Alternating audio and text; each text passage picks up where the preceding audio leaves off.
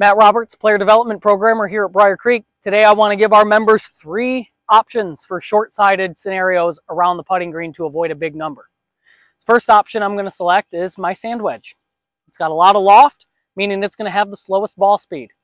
When I make this swing, it's going to be a fairly long swing with some speed behind it to support a higher ball flight and a softer ball speed.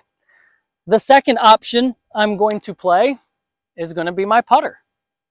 The putter, the setup is going to be very similar to all three options, but you're going to see how I'm going to have to do a better job managing the up and over terrain with a higher ball speed to be able to get this ball to come to rest quickly. The third option would of course be an 8 iron. This is what we would typically classify as a bump and run. Setup, again, going to be very similar with the sand wedge and the putter, but you're going to see the smallest, fastest club head speed with the 8 iron as I choose to select this option. Three options, three different club selections, very similar technique and mechanics for short-sided play around the greens.